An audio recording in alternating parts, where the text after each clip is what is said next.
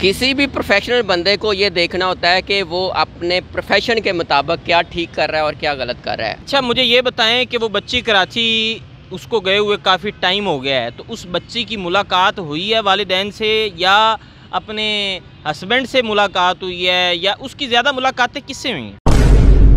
लेकिन जब कानून ने उसको हक दिया अदालतों ने हक दिया तो मेरा ख्याल कानून और अदालतों का हमें सबको एहतराम करना चाहिए।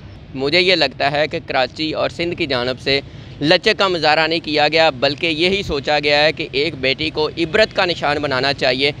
वालेकुम जी, मैं हूँ सलान आज़म और आपको उम्मीद नौ में खुश आमदीद कहता हूँ, ज़हीर और शब्बीर केस, ज़हीर और शब्बीर इस वक्त जेल में हैं और जो बच्ची है, ज़हीर की जो अहलिया है, जो उसकी बीवी है, वो इस टाइम दारुलमान कराची में मौजूद है। इनसे जानते हैं कि ज़हीर और शब्बीर किस हाल में हैं और दूसरा, ये भी जानने की कोशिश करेंगे कि इस केस से डॉलर किसने लिए? इस केस में डॉलर सबसे ज़्यादा किसने? ये भी एक सवाल उठाए जा रहे हैं कि जनाब, डॉलर किसने लिए? मियाँ आसिफ साहब मेरे साथ मौजूद हैं। मियाँ आसिफ साहब ने इस मामले को शुरू दिन से देखा। ज़हीर और उसकी एहलिया का इंटरव्यू भी सबसे पहले किया तो इनसे जानने की कोशिश करते हैं। सबसे पहले तो ये पूछते हैं कि जी, डॉलर कितने लिए गए? बड़े मोबाइल फ़ोन चेंज किए जा रहे हैं। मियाँ साहब, कितने डॉलर ले लिए हैं? कितने डॉलर कमा लिए हैं? डॉलर तो कमा लिए हैं जहरी बात है। डॉलर तो सब एक को हर एक को आ रहे हैं जिसने भी यूट्यूब चैनल बनाया है। लेकिन एक होता है हलाल के डॉलर एक होता है हराम के डॉलर। व्यूअरशिप कितनी लिया आपने इस मामले से? सबसे पहले होता है आपकी सेटिस्फेक्शन व्यूवरशिप कभी भी आ सकती है लेकिन आपका ज़मीर और आपकी स्टोरी में लोगों को ये नज़र आना चाहिए कि ये जानबदारी के बग़ैर है। और ये सिर्फ़ और सिर्फ़ न्यूज़ सेंस के मुताबिक है, ना कि किसी को प्रमोट करने की, ना कि झूठ पे मबनी हो।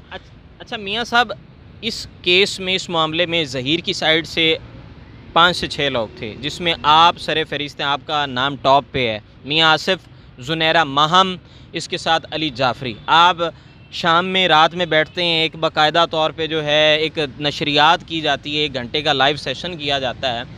मुझे ये बता दीजिए कि आप, आपको बड़े ना ताना जनी का, बड़े सवालात का सामना है। लोग बाज़ मकाम पर आपको बड़ी तनकीद करते हैं और कभी कभी आपके अहल खाना को भी निशाना बनाया जाता है। आपको कभी नहीं महसूस हुआ कि आपने गलती की इस केस में कूद के? किसी भी प्रोफेशनल बंदे को ये देखना होता है कि वो अपने प्रोफेशन के मुताबिक क्या ठीक कर रहा है और क्या गलत कर रहा है। अगर मैं अपने प्रोफेशन के मुताबिक ये ठीक कर रहा हूँ तो मुझे खुद सेटिस्फाई होना चाहिए। किसी की बात पे नहीं जाना चाहिए कोई मुझे बुरा कहे कोई अच्छा कहे। जो लोग वहाँ पे कमेंट्स मियाँ सब कमेंट्स कर रहे हैं उनको कैसे आप टैकल करते हैं? उनको मैं मुकम्मल तौर पे इग्नोर करता हूँ।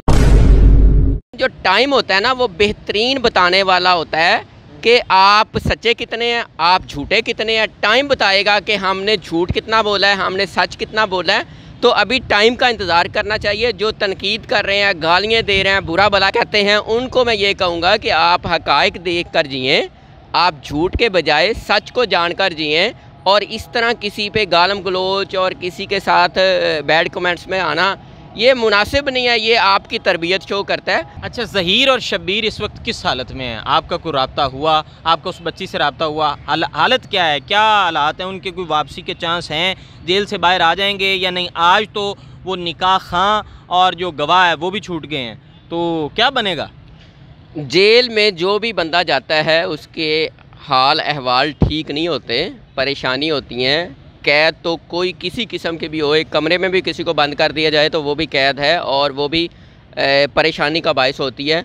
तो बात यह है कि ये केस जो है, ये अल्टीमेटली परी के हक़ में होगा, ज़हीर के हक़ में होगा, उनका निकाह वैलड है और सुप्रीम कोर्ट ने उनको साथ जीने का हक़ दिया है, सिंध हाई कोर्ट ने दिया है, लाहौर हाई कोर्ट ने दिया है। तो ये सिर्फ़ और सिर्फ़ मुझे नज़र आ रहा है कि सारा केस दूसरी जानब से झूठ पे मबनी चलाया जा रहा है। अच्छा मुझे ये बताएँ कि वो बच्ची कराची, उसको गए हुए काफ़ी टाइम हो गया है तो उस बच्ची की मुलाकात हुई है वालदेन से या अपने हस्बैंड से मुलाकात हुई है या उसकी ज़्यादा मुलाकातें किससे हुई? हैं अभी तक तस्दीक नहीं हुई कि उसकी मुलाकात पेरेंट्स से हुई है, नहीं हुई है। कुछ लोगों का कहना है कि उनके पेरेंट्स जो हैं वो वहाँ गए हैं मुलाकात थोड़ी बहुत हुई है बातचीत हुई है हम्म। और बच्ची को कुछ प्रेशराइज़ किया गया है ये कुछ ज़राए कहते हैं। अभी इसके मामला की मुझे ज़ाती तौर पे काउंटर चेक के तौर पे तस्दीक नहीं हुई उसको भी हम देख रहे हैं। अब मियाँ साहब क्यों नहीं ख़त्म होने दे रहे हैं आप मामला? क्यों आप लोग मज़ीद क्यों इसे उलझा रहे हैं? लोग कहते हैं कि जी ये मामला उलझाया ही तीन चार लोगों ने। मामला ये कराची और सिंध की जानब से उलझाया गया है। इस तरह के बहुत सारे केसेस होते हैं जो लड़की मर्ज़ी की शादी करती है, उसके बाद वो अदालत से रजू करती है और अदालत उनको जीने का हक़ देती है और इसी तरह इस केस में भी हुआ। लड़की ने गलती की, लड़के ने गलती की। इस तरह की शादियाँ नहीं होनी चाहिए पेरेंट्स को राज़ी करना चाहिए। लेकिन जब कानून ने उसको हक़ दिया, अदालतों ने हक़ दिया तो मेरा ख्याल कानून और अदालतों का हमें सबको एहतराम करना चाहिए। आप लोगों ने, तीन चार लोगों ने, जुनैरा महाम ने, मियाँ आसिफ ने, अली जाफरी ने और भी दिगर लोग थे जो उस साइड से काम, आप वाली साइड से काम कर रहे थे। इन्होंने कोई मुफामत का रास्ता नहीं बताया। इन्होंने इज्जतें उछालने से बचने के लिए कोई इकदाम नहीं किए। हम जो लोग हैं, हम पहले दिन से ये सोच भी रखते हैं, ये एफ़र्ट्स भी की हैं कि बेटी और पेरेंट्स की सुलह होनी चाहिए, दरमियानी रास्ता निकलना चाहिए। लेकिन मुझे ये लगता है कि कराची और सिंध की जानब से लचक का मुजाहरा नहीं किया गया, बल्कि यही सोचा गया है कि एक बेटी को इबरत का निशान बनाना चाहिए।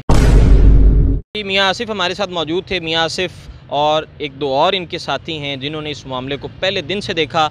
उस लड़की और लड़के का शबीर और उसकी बीवी का इंटरव्यू भी सबसे पहले इन्होंने किया।